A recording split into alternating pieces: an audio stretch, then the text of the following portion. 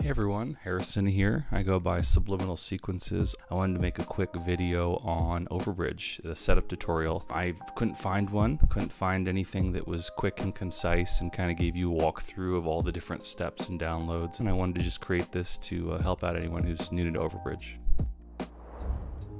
Okay, so let's get to it. You're to want to go to the Elektron Overbridge website. I have the link below in my description. Once you're there, click Go to Download.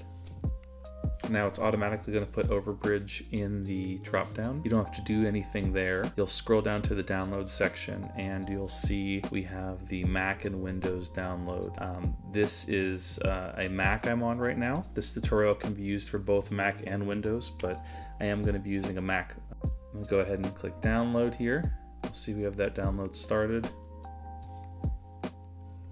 Now right here it, lists all the different um, devices that are supported I one of the reasons I love the Digitone and Syntakt so much is because of Overbridge. Um, uh, it really helps a lot with the mixdown. So just make sure your device is compatible with Overbridge. I'm gonna go ahead and go to my download, open it up. Here we are right here. I'm going to click on the Elektron Overbridge installer and you'll see that we are going to go through the installation process.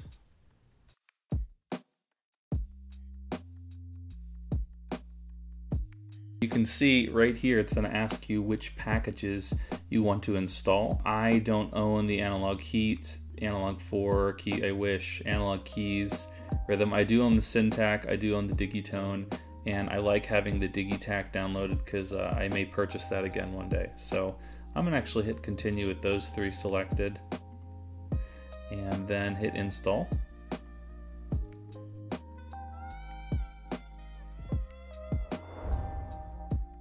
Okay, from this point it's downloaded. We have um, our little icon up here in the corner and it pulls up the Overbridge engine and right now it doesn't have any um, instruments that are being detected. So here we are with our devices. I have a Digitone and a Syntakt here. I'm going to go ahead and power up my boxes. Now the first thing you're going to want to do is make sure that you have each of your Elektron devices enabled or set up to work with Overbridge. Okay, what you're going to do is go to your settings, go to System, and you're going to go to USB config. And you'll see we have three options here. Overbridge is checked. We have USB MIDI, USB audio MIDI, and Overbridge.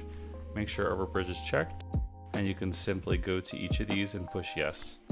Digitone same thing. You're going to go settings, system, USB config.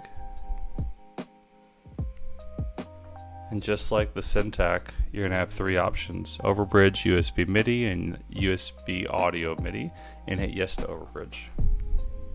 Great, so we have our devices all set up to work with Overbridge. What you need next is your USB cables. This should come with each of your boxes, and if you don't have one, they're pretty cheap. You can buy them online.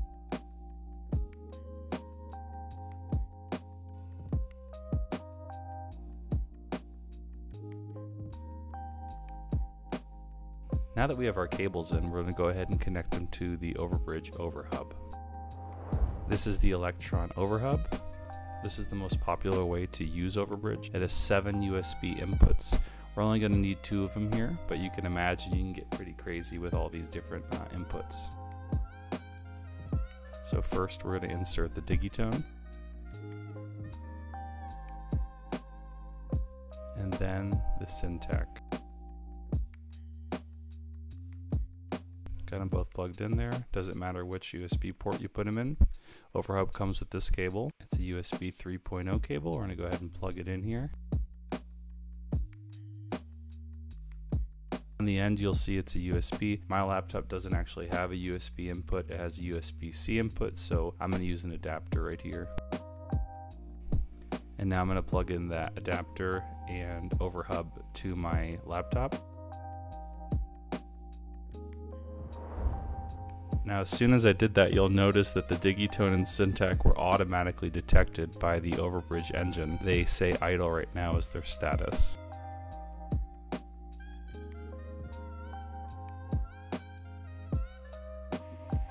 So for plugins, you're going to want to make sure that you have um, go to your preferences and make sure you have. Um, I use VSTs uh, more than audio units, but you'll want to have on to both VST and audio units. Also, use VST3 plugin systems folder. But once you've done that, what you're going to want to do is go to um, audio and go to input device and you're going to see we have the digitone and the Syntakt. So I choose the Syntakt. It doesn't matter as long as you put one of your Elektron devices as the audio input device.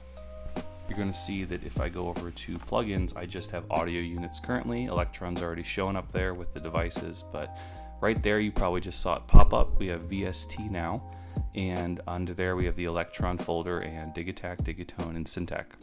Um, if that's still not showing up, you can go to your uh, desktop and then audio, and from audio, go to plugins. And from plugins, you should see VST, and from VST, you should see that Elektron folder with those packages. Um, if it's not there, you can manually drag and drop or put those in that folder from the download. Okay, from here we're going to go into our plugins. Um, you'll see we have our VST folder open with our three packages. We're going to grab the Syntakt right here and we're just going to drag it onto a MIDI channel. It has to go on a MIDI channel because it's a plugin. Uh, you'll see we have our Overbridge Syntakt plugin that opened up here. We're not going to be going into the usage of the actual interface. This is more for setup.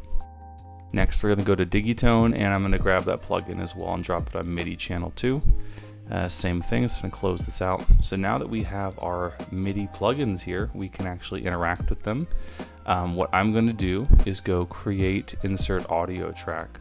And from here, you'll see that once we um, choose this dropdown, you'll see we have Syntakt and Digitone. Uh, for the purpose of this, we're going to just be recording on the Syntakt um, just to illustrate how it's done, but you can do it with whatever you choose. So if you choose Syntakt, for example, you can choose all uh, 12 tracks here. You also have your FX track, delay, and input tracks as well if you're sending audio uh, into the left and right inputs of either unit. Um, similar to Syntakt, we have our Digitone, and you'll see that we have our four tracks and our left right input. Uh, a little less options than Syntakt, but we still love you, Digitone. I'm to go ahead and just do Syntakt right here and dupe. I'm just hitting Command D on my keyboard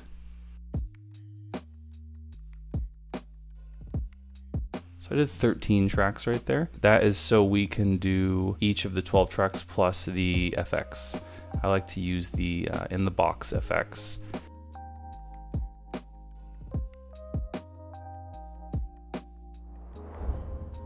When setting up Overbridge, you're going to notice the BPM in Ableton is the master or the BPM in your DAW, and your Elektron boxes are the slaves. This is at 120 currently. I'm going to bring it down to 80 for this tutorial. Let's go ahead and now just see if everything's working. Let's hit play and record. So you can hear that kick coming through on track 1. And we're going to just go ahead and keep letting it record. One thing you'll notice is that when the um, audio comes in, the overall dB or loudness of the track is a lot lower than you traditionally would see recording with a different audio interface in stereo or mono. Let's go ahead and record some additional tracks. Let's do all 12 of them. To do that on a Mac, you're going to hold down the command button and then select all the record icons on each track you would like to record.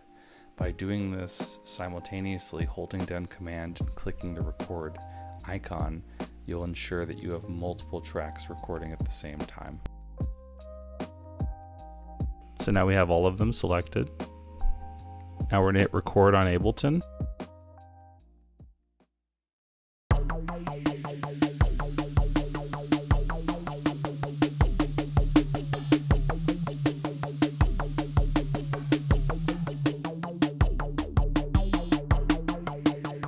So you'll see we are actually recording all 12 tracks simultaneously.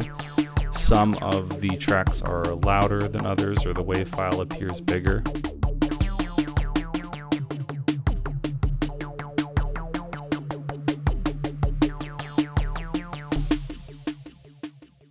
And now you have individual tracks recorded into your DAW over Overbridge. What's amazing about this is you can go into every track, add EQs, add compressors, auto filters, plugins to sweeten up your sounds.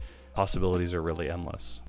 That's going to be it for this video. I hope you guys enjoyed this tutorial. If you're a fan of this content, please let me know. Like and subscribe, and I'll see you guys in the next video.